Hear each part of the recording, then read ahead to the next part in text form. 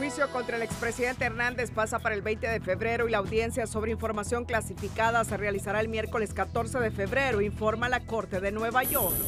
Ana García de Hernández pide pruebas al analista Raúl Pineda que demuestren que la fortuna de Hernández ronda los 3 mil millones de dólares. Inicia cuenta regresiva para que presidenta de la Corte de Justicia cumpla la rotación de salas por orden de precedencia, pero surgen voces advirtiendo que el reglamento no se respetará. Mirta Gutiérrez deja la Secretaría de Derechos Humanos para asumir siempre como viceministra en la sede Sol. Interventor de la OABI niega que vaya a desaparecer. La idea es elevarla a una nueva Secretaría del Estado, informa Hugo Suazo.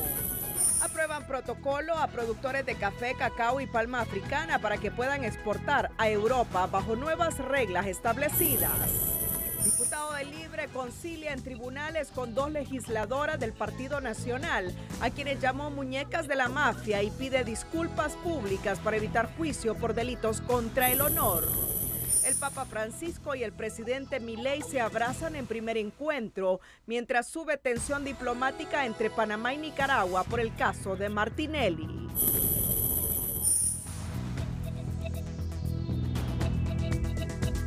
Este es su noticiero TN5 Estelar con Renato Álvarez y Cristina Rodríguez. Muy buenas noches, Honduras. Bienvenidos a la emisión de este lunes 12 de febrero. La noticia del día es presentada por Claro. Contrata tu plan postpago de 21 dólares con 99 centavos con 30 gigas de internet, Facebook y WhatsApp. Contratalo en tiendas Claro. La noticia del día no puede ser otra que el juicio en Nueva York, en la Corte del Distrito Sur de Nueva York, donde hoy no se eligió al jurado en el juicio que se le sigue al expresidente de la República, Juan Orlando Hernández. ¿Por qué? La pregunta que le formulamos a nuestra enviada especial, Xiomara Orellana, que junto al periodista Cristian Nájera y también al colega Cristian Morazán, Cristian Morazán, Cristian Nájera es un compañero que tuvimos aquí hace cinco o seis años.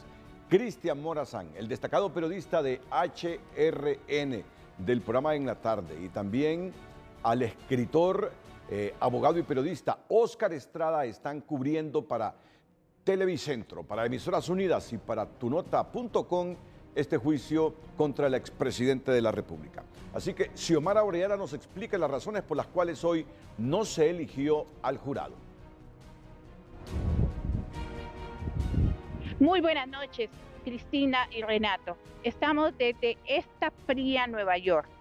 Justo hoy ha sido un día con bastantes sorpresas porque circuló primero que se haría la elección del jurado y que el mismo iba a ser en privado porque eran por garantías de seguridad. Sin embargo, luego salió ya la información que no, que todo el proceso del juicio contra el expresidente Juan Orlando Hernández Alvarado inicia este 20 de febrero. Y por lo tanto, estamos a la expectativa de lo que transcurra. En esta semana, únicamente el intervalo que pidió la Fiscalía para el análisis de la información clasificada, que tiene que ver con toda esa información de las agencias federales que han proveído para este caso y que es una de las solicitudes que hizo Juan Orlando Hernández. Pero también hoy mismo se adjuntó al expediente judicial la declaratoria de culpabilidad de Mauricio Hernández Pineda, un documento que está bajo sello, que podrá estar listo al público dentro de 90 días y que contiene más que todo los acuerdos que se pactaron para que Mauricio Hernández al final se declarara culpable. ¿Qué esperamos en la semana? En la semana esperamos que tanto la Fiscalía como la defensa de Juan Orlando, a través de Sabrina Short, que es la abogada autorizada para conocer la información clasificada, puedan hacer la revisión y análisis de esa evidencia que se aportará en juicio. Luego esperamos para el martes 20 iniciar el juicio con la elección del jurado y posteriormente la Fiscalía calculamos que el miércoles 21 haría la presentación de sus argumentos para llegar hasta el por qué fue que decidieron formular la acusación. Esto es lo que se vive. Nosotros estamos acá con una temperatura bastante baja y bueno, con la amenaza que en unas horas estamos con una tormenta invernal y se prevé que mañana tengamos nieve. Así que les vamos a estar contando de esto también, que es parte, que es parte de la información que fluye aquí en Nueva York. Así que paso a paso, minuto a minuto, Renato y Cristina, les estaremos llevando la información desde Nueva York. Así que pendientes y muchas gracias. Feliz noche.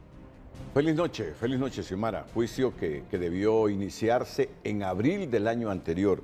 Se ha aplazado tres veces, tres veces.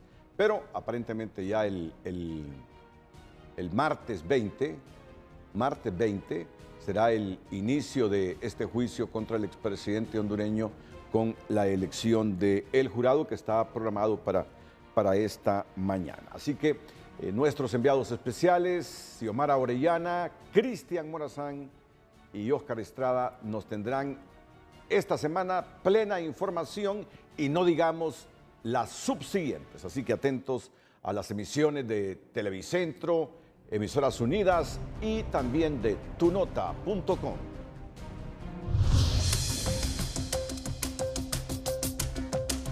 A través de un comunicado, la ex primera dama, Ana García de Hernández, exigió este día al abogado Raúl Pineda Alvarado que explique y demuestre de dónde saca la información en donde afirma que la fortuna de la familia del expresidente Juan Orlando Hernández ronda los 3 mil millones de dólares. El fin de semana, el reconocido analista emitió esas declaraciones calificadas por Ana García de Hernández como falsas y llenas de odio contra su familia y parte de una campaña de desinformación. La ex primera dama explica en el comunicado que los bienes de la familia Hernández desde el 1 de abril del 2022 han sido sometidos injustamente a un proceso judicial de privación de dominio, originado del proceso de extradición del expresidente Hernández. La ex primera dama asegura que esos bienes muebles e inmuebles que están sometidos al proceso de privación de dominio son bienes adquiridos legalmente producto del trabajo y esfuerzo de su familia en los últimos 30 años y otros heredados por el padre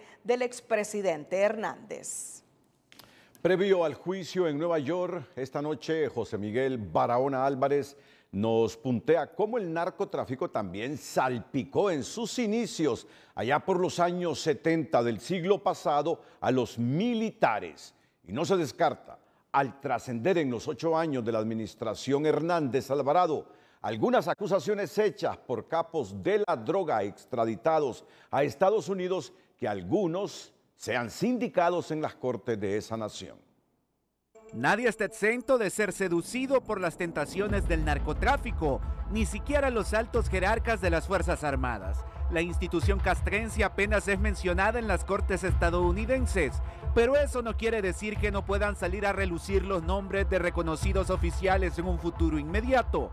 Los testimonios de narcotraficantes confesos en los estrados neoyorquinos como parte de esta trama serial, entre ellos Fabio Lobo y Víctor Hugo Morales alias El Rojo, no solo tienen en común las recurrentes alusiones al expresidente Hernández o su hermano Tony, también se hace referencia al papel que jugó la institución del verde moteado para facilitar el tráfico de miles de cargamentos de cocaína junto a la Policía Nacional. Solo en el juicio del hermano del expresidente y del hijo del exmandatario Lobo, la Fiscalía de Estados Unidos se encargó de evidenciar la complicidad de las Fuerzas Armadas con el poder político hondureño y los capos revelando las reuniones que algunos de ellos sostuvieron con coroneles, que ordenaron a sus soldados que se coludieran en una actividad alejada totalmente de su esencia constitucional. Durante el proceso legal en contra del narcotraficante Giovanni Fuentes Ramírez, se desentrañaron algunos acrónimos que se asociaron inmediatamente a militares de alto rango que participaron y se beneficiaron del negocio del narco. La documentación que existe respecto a este caso señala a un excomandante de la 105 Brigada de Infantería, quien habría proveído de armas a un presunto narcosocio de Juan Orlando Hernández. El mismo fue identificado como el co-conspirador número 13 o CC13. Asimismo, se mencionan con fuerza los nombres de otros militares que se desempeñaron como funcionarios durante los últimos 12 años. De esos relatos se colige que esa otra rama de la defensa y seguridad no quedará exonerada de la contaminación de las mafias en los cuerpos de seguridad del Estado. La participación de los militares en este tipo de ilícitos se remonta a los años 70, en la época de los Ferrari Ramón Mata Ballesteros, según los registros históricos. En 1987 trascienden en los medios informes desclasificados de la DEA, en donde se menciona al menos una docena de militares, entre coroneles y generales, jefes de inteligencia y contrainteligencia como sujetos de interés sospechosos por presuntos vínculos del narcotráfico. Así lo citó en uno de sus artículos el periodista estadounidense Jeremy Bigwood. En los últimos 30 años se registraron algunos casos icónicos que estremecieron a las Fuerzas Armadas, entre ellos el de Rigoberto Regalado Lara, Rolando Mejía Garrigó y Santos Rodríguez Orellana, que son algunos de los más conocidos. En 1988, el coronel Rigoberto Regalado Lara, embajador de Honduras en Panamá, fue capturado cuando ingresaba a Miami con 10 kilos de cocaína. Regalado era hermano del entonces jefe de las Fuerzas Armadas, Humberto Regalado Hernández. En testimonio dado a una comisión especial de investigación del narcotráfico, nombrada por el gobierno hondureño de ese entonces que viajó a Miami, el coronel Rigoberto Regalado dijo que las Fuerzas Armadas y su hermano lo dejaron solo fue prisionero en una cárcel de Miami, mientras el coronel Rolando Mejía Garrigó fue capturado en septiembre de 1992 con 62 kilos de cocaína pura que trasladaba en su vehículo. Lo sentenciaron a 20 años de cárcel y a pagar una multa de 700 mil dólares, pero falleció en diciembre del 2002 antes de cumplir su sentencia en la Penitenciaría Nacional. Al ser capturado, el ejército retiró inmediatamente de sus filas al entonces coronel.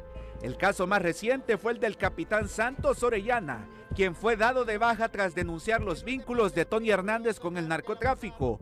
Su perfil mediático se levantó como la espuma, pero en un abrir y cerrar de ojos cuando aspiraba a la presidencia, la fama alcanzada se diluyó luego que el Ministerio Público ordenara su captura por lavado de activos, pues aparentemente se quedaba con parte del dinero y la cocaína que confiscaba, como parte de los operativos antinarcóticos que encabezó pero la justicia hondureña posteriormente le absolvió y otorgó junto a su esposa y suegra la libertad. En la actualidad el negocio del narcotráfico no cede y la institucionalidad se enfrenta al gran desafío de desarticular las redes criminales esparcidas por todo el país, incluyendo las que se infiltraron en la fuerza pública hondureña, según informes elaborados por Inside Crime. Varias zonas de Honduras, principalmente la Mosquitia, continúan siendo un corredor activo del narcotráfico, que no solo ejerce control en la comunidad, también sobre soldados y militares. El cultivo de hojas de coca y la producción de cocaína alcanzaron niveles nunca vistos en el litoral atlántico hondureño, pero también en el occidente, donde se descubrió el primer narco laboratorio en la Iguala Lempira, que se dijo era propiedad de Tony Hernández en asocio con unos colombianos. Más allá de los juicios en cortes de Estados Unidos realizados y por venir, Honduras enfrenta el desafío de fiscalizar sus fuerzas del orden policiales y militares para que el combate al narcotráfico sea más efectivo y menos discursivo. Maribel Espinosa, la diputada del Partido Salvador de Honduras, a través de sus redes sociales reflexionó sobre el juicio contra el expresidente Hernández en Nueva York acusado por narcotráfico, y dijo que si bien es importante, no se debe dejar de lado otros temas de interés derivado de ese hecho. El país, manifestó, debería estar debatiendo en torno a las siguientes interrogantes. ¿Qué funcionarios públicos de conformidad con la ley estaban obligados a investigar y juzgar a Jo, pero dejaron de cumplir su mandato constitucional? ¿Para cuándo las investigaciones y enjuiciamiento contra ellos? Mientras no se enjuicien a funcionarios corruptos por sus acciones u omisiones, el país seguirá a la deriva. ¿Dónde están los resultados efectivos de las diligencias de privación de dominio de bienes de Jo? ¿Dónde están los cómplices y testaferros de Jo? ¿Qué instituciones del Estado y entidades privadas se coludieron con Jo? ¿Debería sancionarse a los responsables? ¿Cómo impedimos que señalados por la justicia en Estados Unidos se postulen a cargos de elección popular? ¿Cómo logramos introducir la ética como regla fundamental de la conducta de políticos? En los estados de derecho no solo basta que se conozcan los nombres de los infractores de la ley, sino que su juzgamiento es lo que permite la paz que todos anhelamos. Pero lo más importante, agrega la diputada Espinosa, es que de aquí en adelante, ¿cómo evitaremos para que esa clase carcomida de politiqueros sigan decidiendo sobre los destinos de más de 10 millones de habitantes?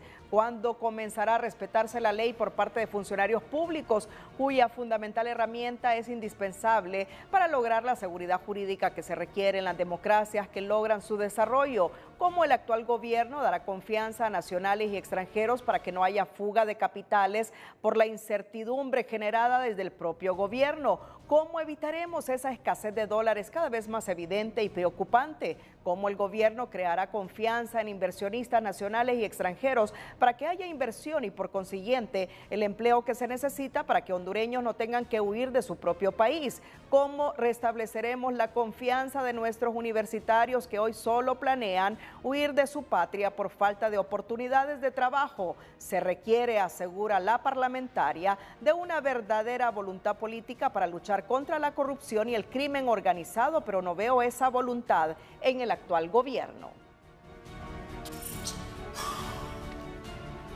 El juicio a desarrollarse en la Fiscalía de la Corte del Distrito Sur de Nueva York contra el expresidente Juan Orlando Hernández debería ser una lección aprendida para los aspirantes a cargo de elección popular quienes deben de justificar la proveniencia de los recursos para sus campañas, pero este diputado cree que desde la institucionalidad no hay interés para transparentar los procesos. Todavía no sabemos de dónde viene el dinero que financia las campañas políticas. ¿Cómo lo vamos a saber? Si inmediatamente después de las elecciones decretaron en secretividad, usted no puede accesar a la información. Mientras tengamos una unidad de política limpia que no funcione adecuadamente, igualmente los eh, grandes dineros de la droga van a financiar la campaña política. Este fundador del partido político Naranja de Honduras cree que las viejas prácticas continuarán mientras no haya una verdadera depuración en los partidos tradicionales y abran las puertas a nuevas instituciones. Si nosotros, no, los buenos, no entramos en política, eso no va a cambiar, porque los núcleos del Partido Nacional, los núcleos del Libre y los núcleos del Partido Liberal no se van a mover de ahí, están muy cómodos y, y van a luchar por quedarse en el poder. Así es que el cambio viene de las nuevas generaciones y de los nuevos partidos políticos. Para el diputado Carlos Umaña, la filtración del narcotráfico sigue vigente en algunas instituciones públicas y no va a desaparecer mientras no hayan verdaderos cambios que castiguen a los que infringen la ley. Yo creo que todavía hay remanentes de la infiltración del narcotráfico en el estado de Honduras y la manera de quitarlo es creando leyes que faciliten la investigación de quiénes son los dueños de las empresas.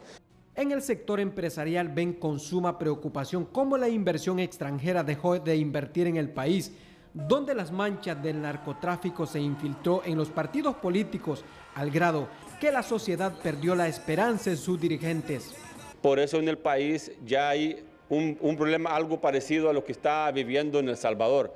La gente ya no quiere ver votar por políticos, la gente ya no quiere votar por, por partidos políticos, la gente está añorando por una persona independiente que venga a decir yo soy El Salvador. En el juicio del expresidente Hernández saldrán a relucir muchos nombres de políticos y empresarios, pero sin duda el Partido Nacional será uno de los más afectados, a criterio de nuestros entrevistados. Orlin Martínez, Telenoticias. Vamos a nuestra primera pausa comercial aquí en el Noticiero Líder. Cuando regresemos, Honduras confía en la palabra de la Presidente de la Corte Suprema de Justicia, Rebeca Raquel Obando, al trascender este día, que de oficio estaría nombrando en las rotaciones de la sala como presidente de la sala constitucional a al magistrado Wagner Vallecillo, cuando en el orden de precedencia esta, la presidencia de la sala constitucional, le correspondería a otro magistrado, a Luis Fernando Padilla. Atentos a estas noticias aquí en el Noticiero Líder.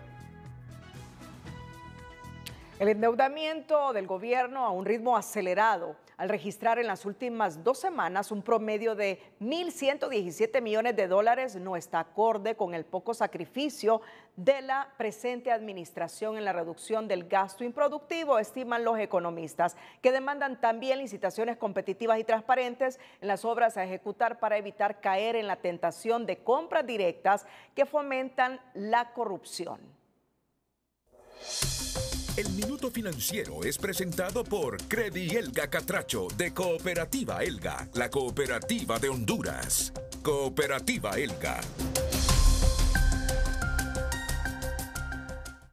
En las últimas dos semanas, el Congreso Nacional aprobó 1.117 millones de dólares, más de 27 mil millones de lempiras en préstamos con organismos multilaterales, un endeudamiento que sigue siendo acelerado y representa una pesada carga para la población que está pagando altos impuestos. El nivel de endeudamiento que Honduras tiene es muy peligroso, es insostenible, se comprometen las finanzas y esto va aunado a una carga tributaria, a altos impuestos que siguen siendo los del mismo eh, régimen anterior. Este gobierno no los ha aumentado los impuestos, pero mantiene los altos impuestos de los regímenes anteriores. Entonces, ¿qué ocurre? Que el gobierno se está endeudando, está sigue comprometiendo las finanzas públicas. La mitad de esos fondos son para carreteras, la otra mitad irá a construcción de hospitales, actualización del censo de población, Policía Nacional, desarrollo agrícola y protección social. Invertir en infraestructura es positivo, explican en la ASJ, pero consideran que también el gobierno debe reducir el gasto improductivo en la burocracia. Es importante que se dé más espacio de endeudamiento para inversión pública, que se prioriza la inversión pública y que se hagan disminuciones en gasto corriente, porque al final la inversión pública es lo que genera un retorno a la, a la población. El gobierno deberá garantizar licitaciones competitivas y transparentes, advierte este analista, al señalar que en la ejecución de estos grandes proyectos es cuando ocurren también los grandes actos de corrupción. Tenemos que estar pendientes en el uso de esos fondos y la, calidad de la obra que se va a hacer también y los montos en los cuales va a costar esa obra. Porque es acostumbrado que generalmente en todos los gobiernos, cuando se hacen este tipo de obras, que son obras de millones de dólares, entonces es ahí donde se dan los mayores actos de corrupción. Al cierre del 2023, la deuda de Honduras cerró en más de 435 mil millones de lempiras y según los entrevistados, a su segundo año de gobierno, la administración Castro no ha cumplido con sus promesas de campaña de hacer las cosas diferentes y sanear las finanzas públicas. Según los expertos, mantener altos los impuestos y seguir contratando más deuda es incompatible con la justicia tributaria que pregona el socialismo democrático. Sara Carranza, Telenoticias.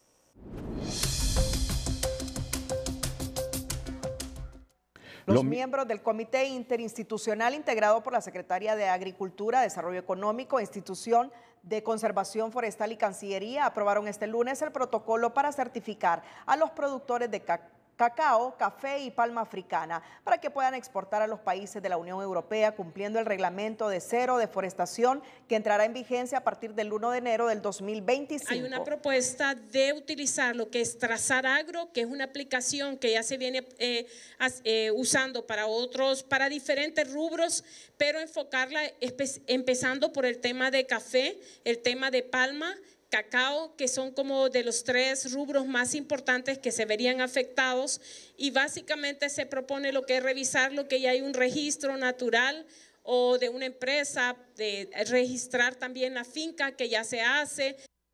Las autoridades proyectan que para el mes de diciembre estén certificados la mayoría de exportadores. Sin embargo, pero reconocen que Honduras será uno de los países más afectados con esta normativa europea, ya que es el principal mercado para el café, aceite de palma y cacao, ya que muchos productores se les vuelve difícil demostrar que estén libres de deforestación. Por lo tanto, podrían caer las exportaciones a la Unión Europea. Economía Hoy es presentada por Banco de Occidente. Tenemos 72 años fieles a nuestra esencia, apoyando al pequeño de hoy haciendo el grande del mañana. Mantener el precio de garantía a los productores ha permitido aumentar la reserva de granos básicos en el Instituto de Mercadeo Agrícola, que actualmente suma 72 mil quintales de maíz blanco y 34 mil quintales de frijol, según la subsecretaria de Comercio Interior, Cintia Arteaga, quien afirma que no se espera escasez por la buena producción que se registró en el 2023. Y este ejercicio, digamos, oportuno ha sido exitoso porque permite garantizar la seguridad alimentaria vía la reserva estratégica de nuestro país, que en este momento alrededor de 72 mil quintales de maíz blanco y 34 mil de frijol. Esto garantiza también un incentivo permanente del agricultor a no dejar de producir. La funcionaria también detalló que están en reuniones con representantes de otros rubros para impulsar la producción y evitar que los principales alimentos para la población sigan subiendo de precio.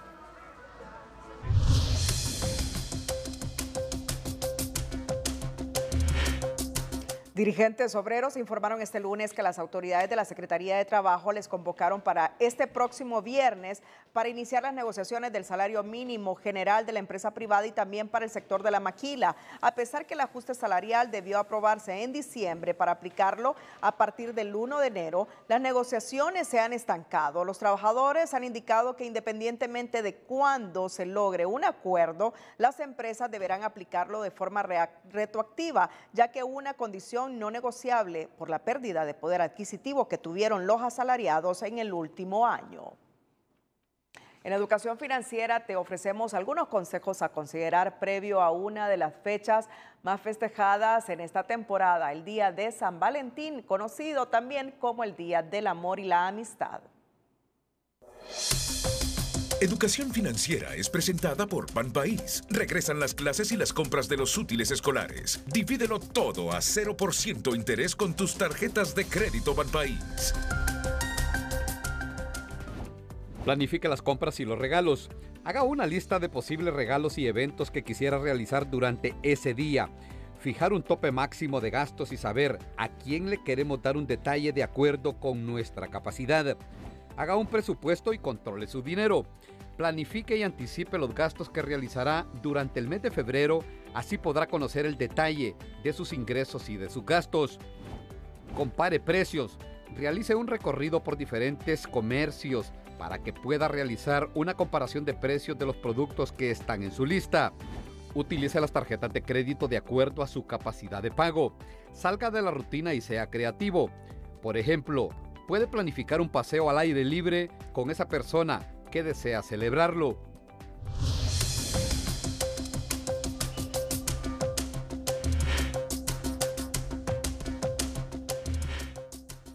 Bueno, mira qué interesante, qué interesante para reflexionar y corregir este comunicado del Comisionado Nacional de los Derechos Humanos. Las instituciones gubernamentales, las más denunciadas por violentar los derechos laborales. Y saben ¿Saben qué género es el que más denuncias ha hecho en el CONADE? Fueron presentadas por mujeres. por mujeres. que se quejaron, dice, de ser objeto de acoso sexual, hostigamiento, persecución política, discriminación y por ser víctimas de difamación en las redes sociales.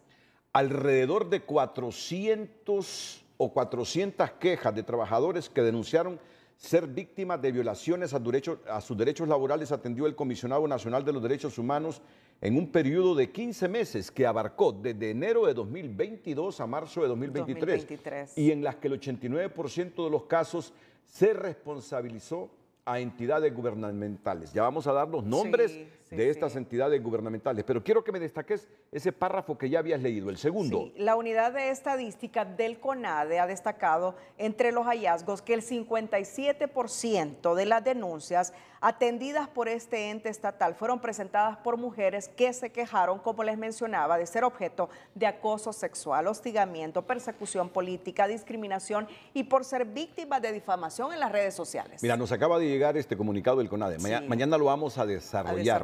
Mañana lo vamos a producir. Pero entre las instituciones más denunciadas ante el CONADE por violentar derechos laborales, y esto debería dar vergüenza a estas instituciones. Esto debería motivar a sus directores, a sus gerentes, a empezar con un trabajo eh, fino, eh, contundente para hacer desaparecer estas violaciones. ¿Cuáles son esas instituciones? Bueno, entre las instituciones más denunciadas ante el CONADE por violentar los derechos laborales figuran el Comité Permanente de Contingencias COPECO. El 911. El Servicio Autónomo Nacional de Acueductos y Alcantarillado SANA. La empresa hondureña de telecomunicaciones. La entonces Dirección Nacional de Niñez y Familia, DINAF. El Servicio de Administración de Rentas y las alcaldías municipales. Pero además la Secretaría de Derechos Humanos, de Infraestructura y Transporte, Desarrollo Social, Salud, Educación, la Policía Nacional, hospitales generales, clínicas, centros regionales, escuelas, colegios públicos, direcciones departamentales. Entonces, el 57%, el 57%. de las denuncias son hechas por mujeres que se quejaron de ser objeto de acoso sexual, hostigamiento, persecución política, discriminación y por ser víctima de difamación en las redes sociales. Mañana vamos a producir bien esta nota porque vale la pena generar conciencia entre la población. Ahora vamos con, con otro tema también de interés. El docente universitario Alex Navas confía en que la presidente de la Corte Suprema de Justicia, Rebeca Raquel Obando, cumplirá su palabra y respetará el orden de precedencia en la sala constitucional. Y esperemos que cumpla este, este propuesto de rotar las salas como un ejercicio democrático y como un ejercicio de acceso a la justicia a las personas. La concentración del poder en los mecanismos de justicia siempre trae malas consecuencias. Por lo tanto, yo creo que ojalá que sean cantos de sirena. Nava recuerda que las rotaciones deben llevarse a cabo el próximo 17 de febrero y le corresponde al magistrado Luis Padilla, Luis Fernando Padilla, asumir la presidencia de la sala constitucional, indistintamente a qué partido político pertenezca.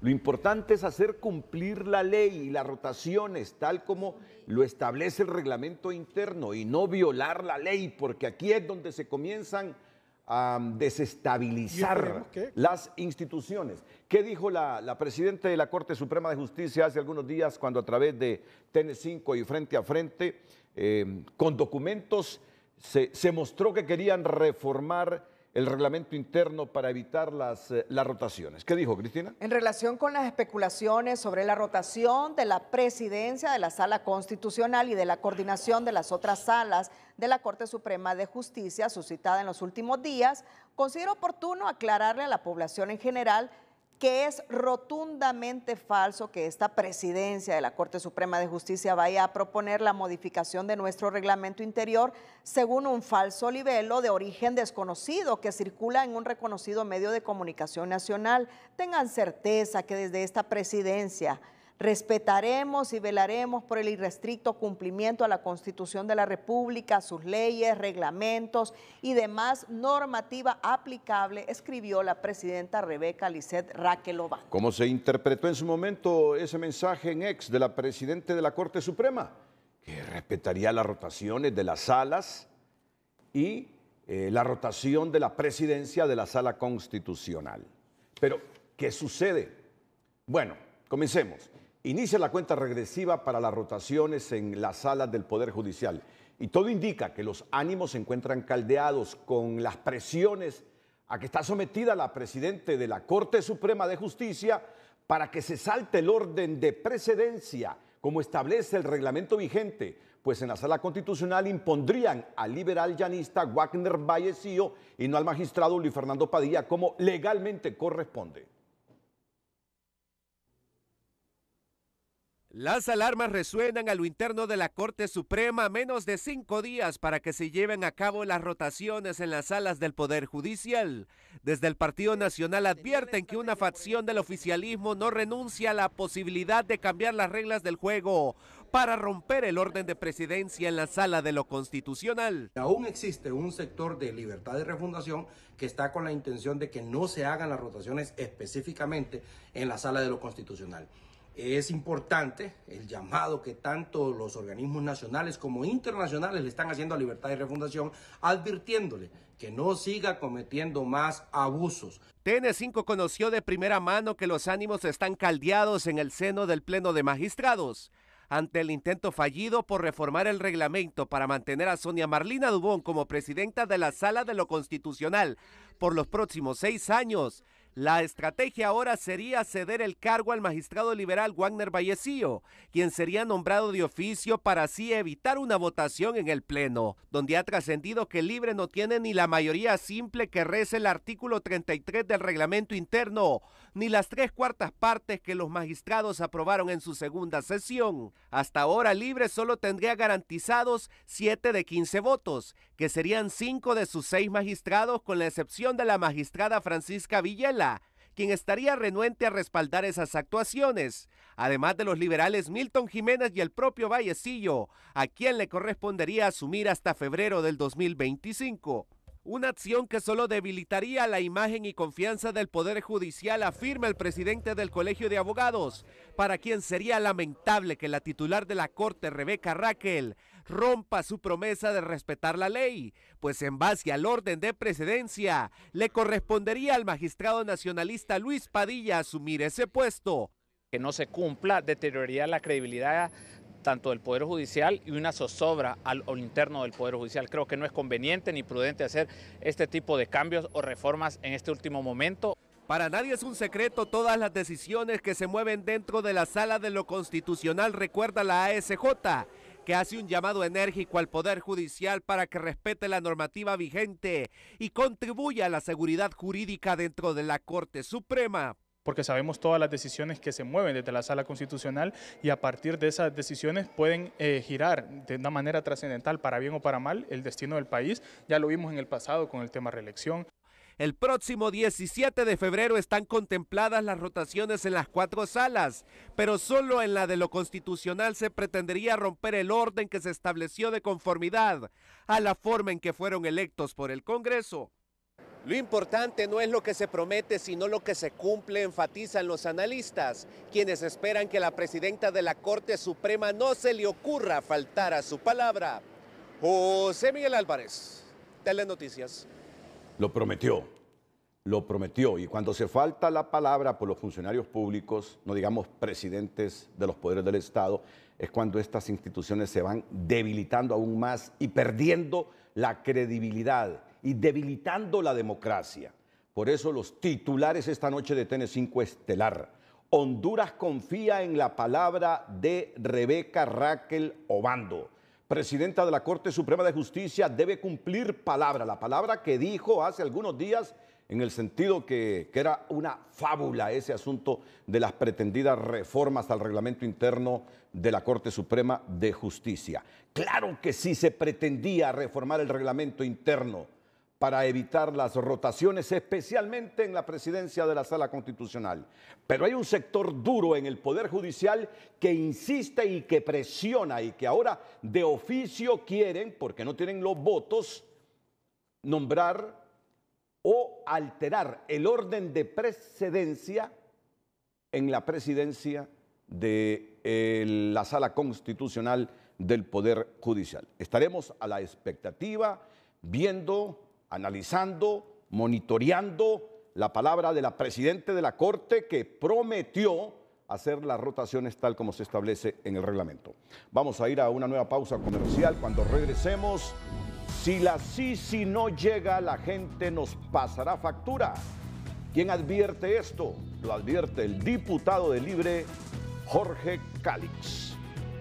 Esta noche una mujer migrante de nacionalidad venezolana murió en el hospital escuela luego de ingresar gravemente herida al ser atropellada en la entrada a la colonia Villanueva en el momento que avanzaba con un grupo de migrantes de varias nacionalidades hacia el centro de la ciudad como parte de su ruta de tránsito en búsqueda del sueño americano. Aún se desconocen los datos personales de la fémina debido a que sus familiares o conocidos no se han abocado a la morgue y tampoco lo han hecho en representación del consulado venezolano. Asimismo se informó que otra mujer mujer migrante habría fallecido en la ciudad de Ocotepeque y fue identificada como Araceli Santana Morla, de origen dominicano. El pasado 3 de febrero se realizó en la ciudad de Panamá la decimosegunda edición de los FIA Américas Award, convirtiendo a esta ciudad en el epicentro del automovilismo y la seguridad vial más de 300 apasionados del deporte motor y la movilidad segura, representando a 23 países del continente americano, se unieron para reconocer a 40 destacados deportistas y 10 instituciones comprometidas con la seguridad vial en sus respectivos países. La Asociación Hondureña de Automovilismo Deportivo, FIA, se destacó entregando cuatro premios que resaltan el esfuerzo, pasión y disciplina de igual número de pilotos que han contribuido a la evolución del deporte motor, así como al grupo financiero Ficosa por su compromiso en la generación de conciencia ciudadana en la promoción de una cultura de movilidad segura y seguridad vial. La emotiva celebración en la emotiva celebración, Sebastián Pastor Mejía, presidente de la Asociación Hondureña de Automovilismo Deportivo, expresó su agradecimiento a los galardonados. Es un inmenso placer premiar en la categoría de deporte a nuestros pilotos, Geray Perdomo en karting, Leonardo Castillo en autocross y Eric Sánchez en circuito, quienes gracias a su trabajo y espíritu deportivo contribuyen en el crecimiento del deporte motor en nuestro país. Además, es un privilegio premiar en la categoría movilidad segura, seguridad al Grupo Financiero Ficosa, institución líder en el país que durante largo tiempo ha contribuido decididamente en la AFIA y Fundación TBC en la promoción y generación de conciencia ciudadana para respetar las reglas de la seguridad vial y así construir una movilidad segura orientada a salvar vidas en Honduras, afirmó Sebastián Pastor, presidente de la Asociación Hondureña de Automovilismo Deportivo.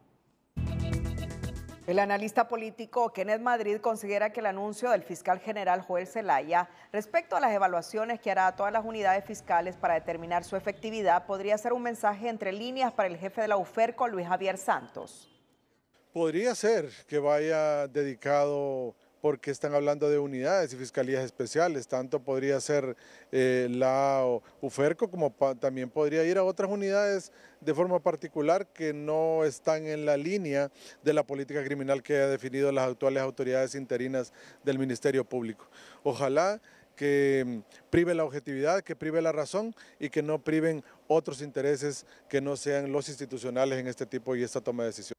Madrid espera que se haga un estudio objetivo de cada caso, pues está claro que lo bueno debe continuar y hasta ahora la UFERCO ha hecho un gran trabajo en la lucha contra la corrupción. Jorge Cáliz, diputado de Libertad y Refundación, dijo a través de sus redes sociales que le llenó de tristeza la declaración del exsecretario de Transparencia y Lucha Anticorrupción, Edmundo Orellana, al afirmar que la Sisi no llegará a Honduras este año lo cual, según Calix, pasará factura al gobierno de la presidenta Xiomara Castro. Según Calix, cuando escuché a Edmundo Orellana decir que la Sisi no vendrá este año, me llenó de mucha tristeza, porque la gente nos va a pasar una factura negativa por una promesa incumplida. Debemos hacer lo necesario para que la Sisi se instale en Honduras empezando por seguir las recomendaciones que la ONU va proporcionando, lamentó y sugirió el parlamentario. Si sí, si no llega, la gente nos pasará factura, según Jorge Calix. Insistir en la renuncia irrevocable de todos los miembros del Comité Central del Partido Nacional, sobre todo de su presidente David Chávez, que anda prófugo de la justicia, le ha generado, dice el veterano dirigente de la estrella solitaria Roberto Ramón Castillo, muchos reclamos internos, incluso mensajes de airados reclamos de amigos del mismo David Chávez, molesto por su campaña de barrer y trapear la casa del partido, asegura el dirigente nacionalista. Básicamente que se molesta conmigo David Chávez, me manda unos mensajes medio raros, pero él no ha sido capaz de, renunciar del puesto. Entonces pone en precario la situación del, partido y ratifica que es un partido o un grupo de gente dentro del partido que llaman los gringos los narcotraficantes y los corruptos. Y eso es muy delicado para el Instituto Político. Según Castillo, quienes mueven los hilos de su partido no quieren competir para ganar las próximas elecciones generales, pues están más interesados en negociar impunidad con el actual gobierno que en tirar a la calle las manzanas podridas que le hacen mucho daño al nacionalismo, insiste. Mira, yo, he notado en los últimos tiempos que, ahora no, hay muchas conciliaciones eh, por los delitos del honor. Es decir, se, van a juicio, pero hoy ha ocurrido algo en el Poder Judicial. Las diputadas Merari Díaz y María Antonieta Mejía llegaron a una conciliación con el diputado de Libre Germán Altamirano, a quien acusaron de delitos contra el honor, ya que se sintieron ofendidas cuando en frente a frente Altamirano las calificó de muñecas de la mafia. Pero hoy, pero hoy conciliaron las diputadas Merari Díaz y María Antonieta Mejía con, con su colega del Parlamento, Germán Altamirano. Tendremos los detalles más adelante. Mira que ahora ya, ya es noticia cuando alguien concilia, Concilia, cuando la claro. persona concilia, porque, Porque no, no hay conciliación. A medida que avanza la temporada veraniega, un delicioso helado no cae mal al paladar y así parece interpretarlo Tania Rivera, una joven emprendedora que destaca en el barrio El Carmen de la ciudad de Ciguatepeque con sus cotizados helados artesanales. El emprendedor de hoy es presentado por Banco Ficosa. Queremos que llegues lejos. Banco Ficosa.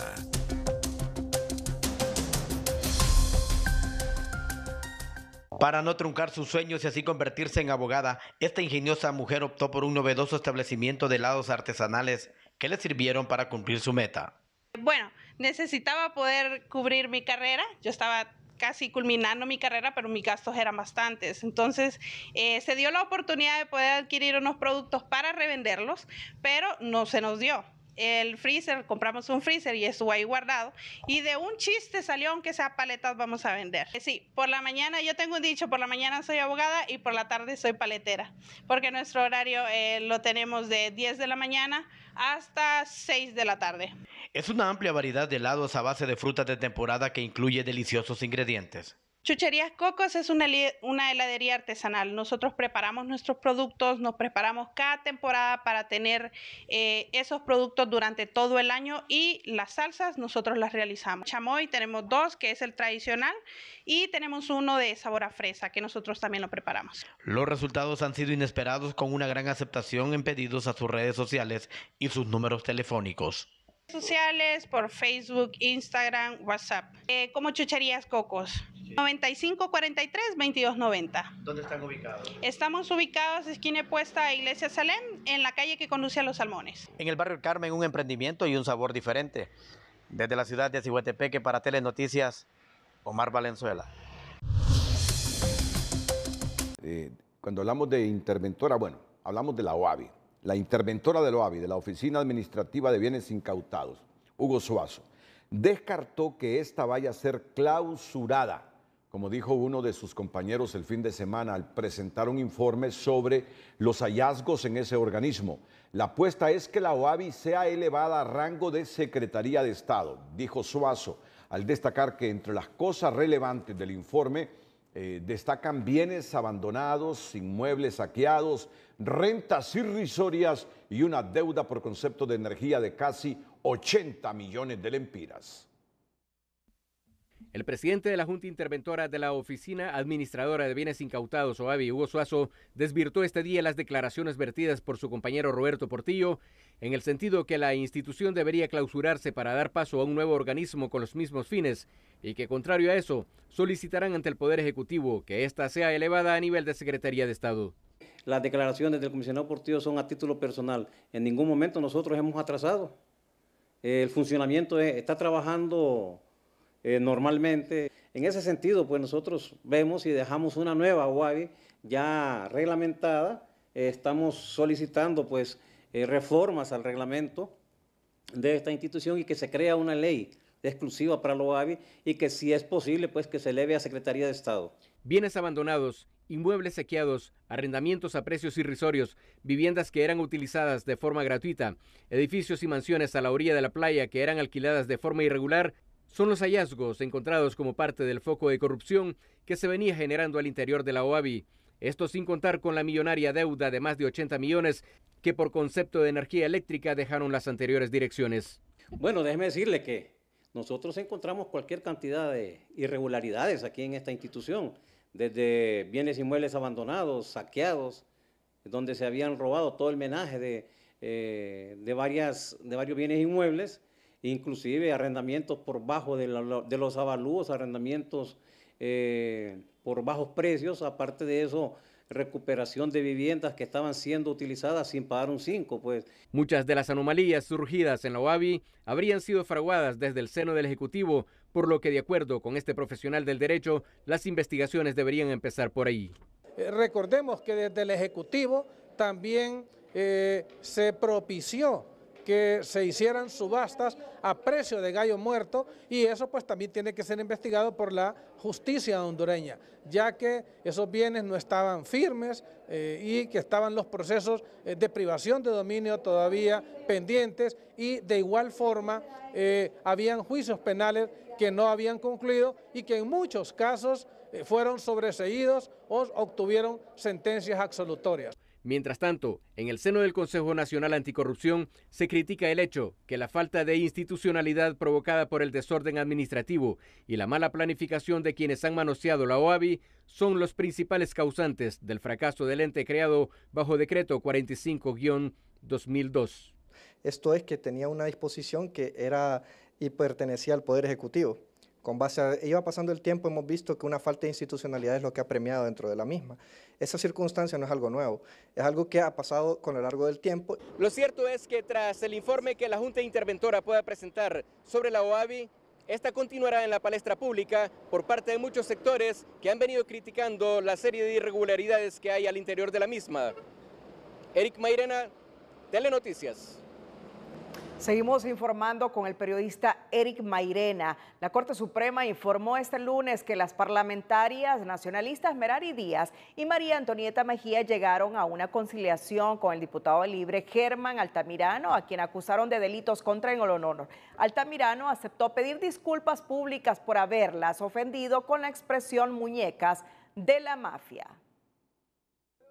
En audiencia de conciliación, el diputado de Libre Germán Altamirano se disculpó públicamente ante sus compañeras parlamentarias del Partido Nacional, María Antonieta Mejía Sánchez y Merari Elena Díaz Molina, de quienes se había referido durante su comparecencia en el programa Frente a Frente con fecha del 25 de agosto del año anterior como las muñecas de la mafia, en alusión al actuar de algunas actrices de una serie televisiva del narcotráfico. Las partes han firmado, pues tanto la parte querellante como la querellada, y eh, la parte querellada pues se ha comprometido a eh, ofrecer una disculpa pública. El acuerdo establecía que el diputado en mención tenía que disculparse públicamente ante las congresistas ofendidas por haberse referido a ellas en esos términos y aunque aclaró que todo fue parte de una mala interpretación, cumplió con su compromiso este día en las afueras del Poder Judicial.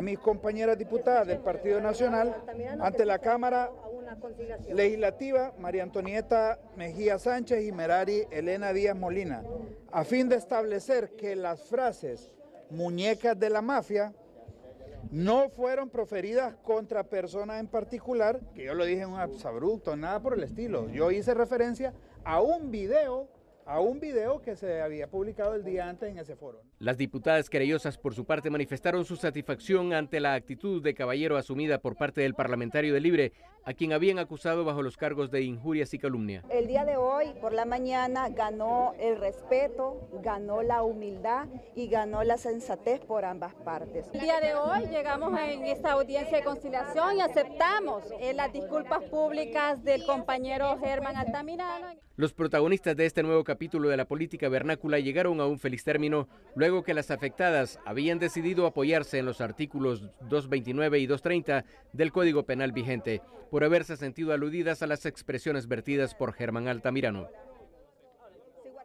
Avalado por la Secretaría de Seguridad del Congreso Nacional, se apresta a asumir un nuevo rol que corresponde a los órganos de control revisar los casos de depuración policial para determinar quiénes salen y quiénes se quedan en un afán por eh, disminuir las demandas judiciales en contra del Estado, se informó.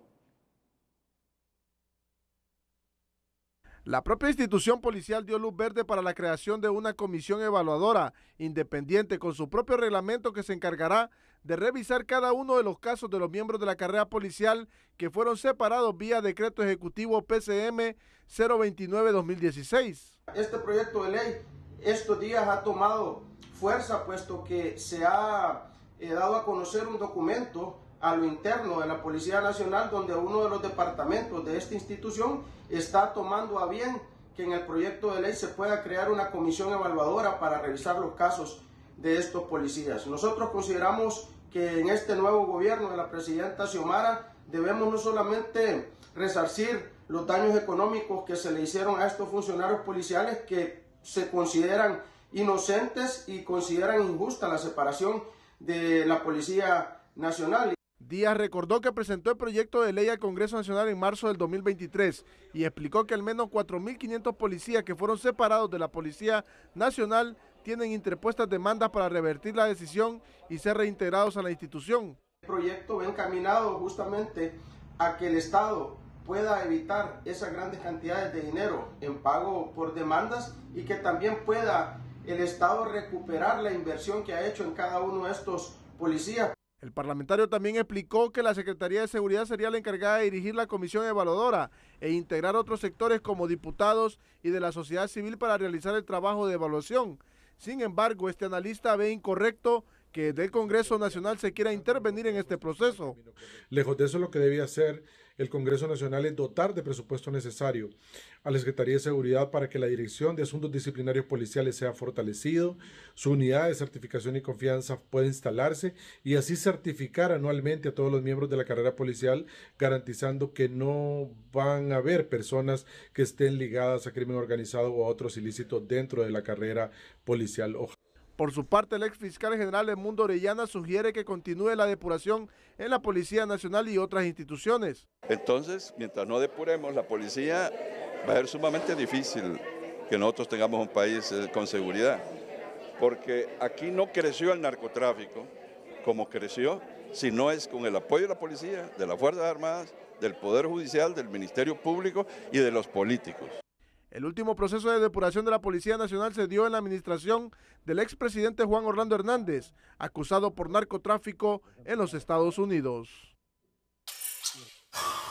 Una rastra que al parecer sufrió desperfectos en su sistema de freno estuvo a punto de provocar una tragedia tras impactar en otros vehículos, lo que provocó una colisión en cadena que afectó a casi una veintena de carros que transitaban sobre el anillo periférico a la altura del desvío de la salida sur de esta ciudad capital, aunque se reportaron algunas personas heridas que fueron auxiliadas y de inmediato trasladadas hacia un centro asistencial. Afortunadamente en esta múltiple colisión no hubo pérdidas de vidas humanas que lamentar el accidente se registró al filo de las 8.30 de la mañana en momentos que se arma un congestionamiento vehicular a esa hora debido a que gran parte de la población se mueve rumbo a sus trabajos. ¿Cuántos vehículos? Casi 20, Renato. Casi 20, Casi 20 sí. Pero no hubo, no, no, no hubo muertos. No hubo muertos. No hubo muertos. Gracias a Dios pero estuvo cerrado todo el anillo. Ya de por sí, ya de por sí en ese sector es un congestionamiento. Bueno, ya me imagino hoy. Hoy, ¿qué, qué día hoy? ¿Qué día hoy? Los que hoy em, acostumbramos a viajar por el, el Boulevard Fuerzas Armadas o anillo periférico, mira, estuvimos hasta una hora y media, dos horas en congestionamiento bárbaros. Así es. Densos, densos, eh, el, tráfico hoy en la capital. En otra información, este lunes los empleados de la Secretaría de Derechos Humanos cumplieron 25 días de estar en protesta en esa institución y explicaron que no han recibido una comunicación oficial del Poder Ejecutivo para iniciar el proceso de mediación para buscar una solución a la problemática. Y nosotros estamos pues pendientes de ir a ese proceso de mediación sin represalias. Algo que nos llama la atención fueron las declaraciones del ministro Pastor, donde dijo que oficialmente no había sido delegado el licenciado Ricardo Salgado que se había manejado de forma mediática, pero que oficialmente no.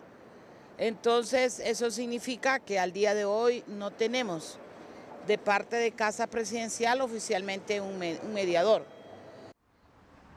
Son más de 50 los empleados que se encuentran en esa situación en la Secretaría de Derechos Humanos y asimismo insistieron que están abiertos al diálogo con las autoridades para lograr un acuerdo. La gobernante Xiomara Castro autorizó en las últimas horas depósitos por un valor de 3.3 millones de lempiras para cada una de las primeras 152 alcaldías, con el fin que esos recursos se utilicen para la reparación de centros educativos. El día de ayer autorizó la presidenta Xiomara el depósito a los primeros 152 alcaldes y alcaldesas, el depósito de 3.3 millones de lempiras sin sectarismo político. Para los alcaldes del Partido Nacional, para los alcaldes del Partido Liberal, para los alcaldes de la democracia cristiana, para los alcaldes de Libre, hoy el balón lo tenemos en nuestra mano. día de ayer Castellanos informó que es responsabilidad de los alcaldes administrar con transparencia los recursos y rendir cuentas con las obras a los habitantes de sus respectivos municipios.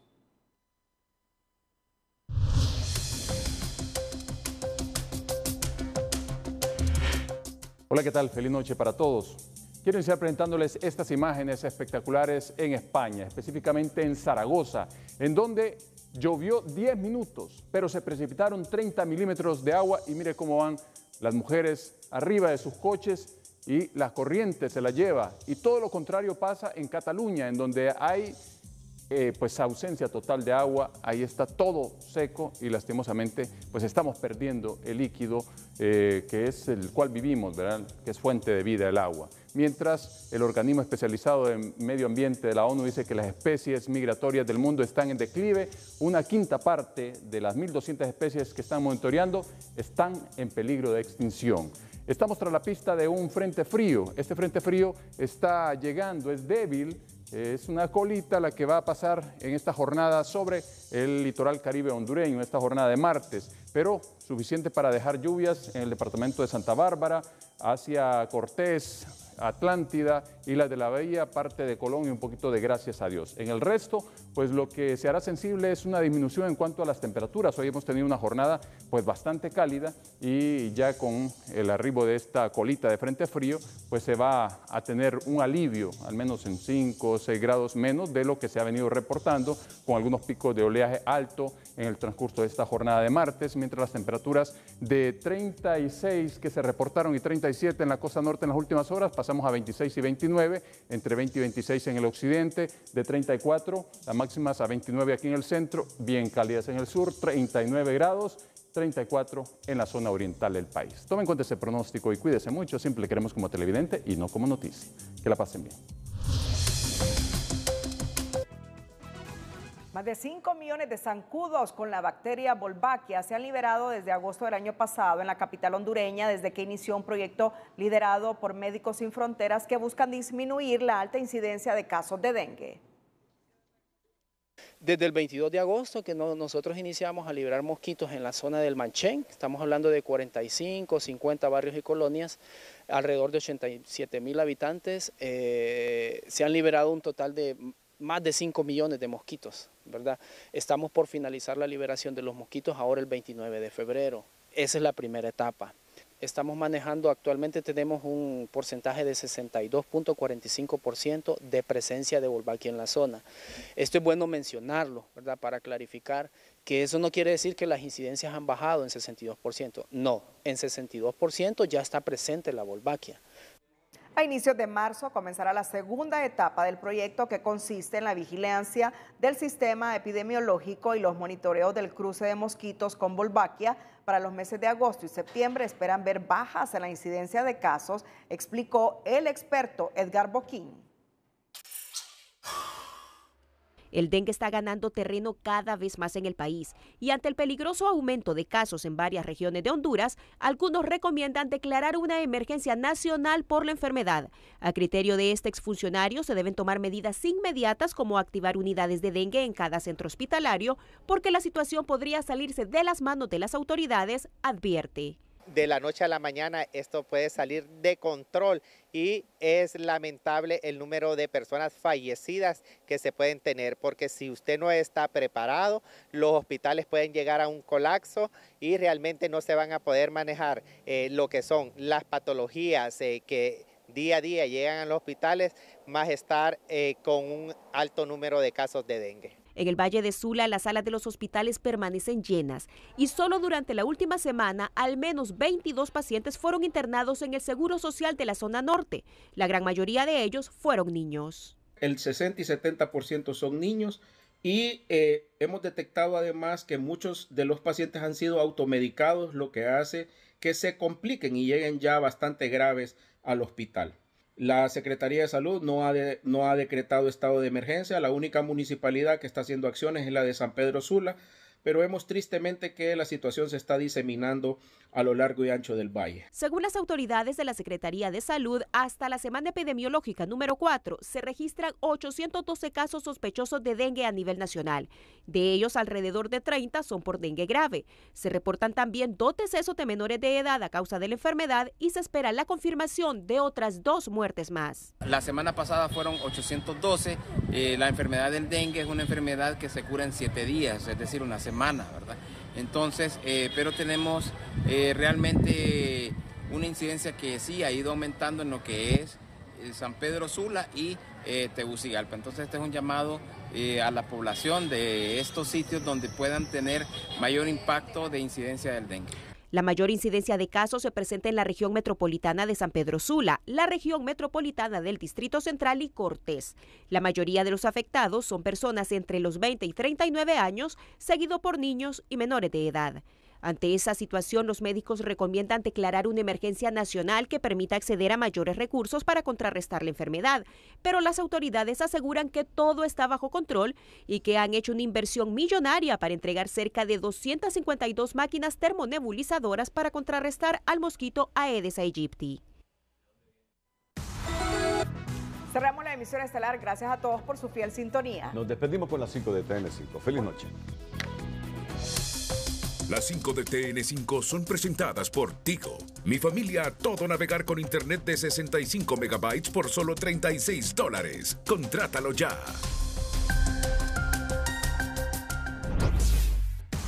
Juicio contra el expresidente Hernández pasa para el 20 de febrero y la audiencia sobre información clasificada se realizará el miércoles 14 de febrero, informa la Corte de Nueva York. Inicia cuenta regresiva para que presidenta de la Corte de Justicia cumpla rotación de salas por orden de precedencia, pero surgen voces advirtiendo que el reglamento no se respetará. Aprueban protocolo a productores de café, cacao y palma africana para que puedan exportar a Europa bajo nuevas reglas establecidas. Diputado de Libre concilia en tribunales con dos legisladoras del Partido Nacional a quienes llamó muñecas de la mafia y pide disculpas públicas para evitar juicio por delitos contra el honor. Fallecen dos migrantes en su tránsito por territorio hondureño, una en la capital y otra en el occidente.